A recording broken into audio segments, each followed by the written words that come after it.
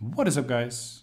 So, you have a problem recording the right monitor. You have a multi-monitor setup or two monitors and you want to use GeForce Experience to record. I have two fixes for you today and if none of these fixes work, I have another free no watermark recording option for you guys to guarantee success. First, we have to make sure you have set some options right. Now, if one of them worked, please hit that like button and subscribe and let me know in the comments. This helps me out as well. And this helps other people to find the video with the same problem. Now, the first thing you want to do is you want to go to your desktop, right click, go to display settings, and make sure your main monitor is set as the one and your second monitor is set as the two. Also make sure this box is checked for your main monitor because you want to record your main monitor.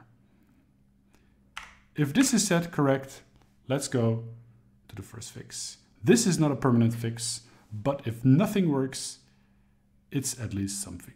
Before you start up your computer, you want to unplug the monitor you do not want to record on, its HDMI or DisplayPort cable, and once it is booted up, plug it back in.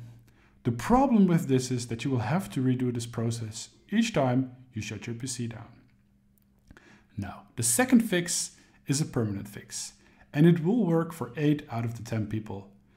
You want to press Alt Z, scroll all the way, or press on the cogwheel and scroll all the way to the bottom. Click on Privacy Control Settings and make sure this is deselected.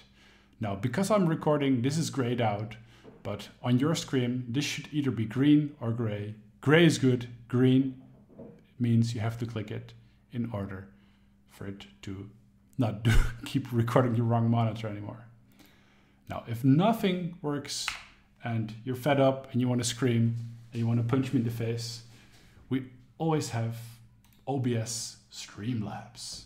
Now, this is an option. This is a little more complicated, but if nothing works, this is an option. I'm not going to explain to you how to set it up because that's a whole different video and there's much better people out there who can explain it. But don't look at my face, look at the bottom here at my mouse. Here's a record option.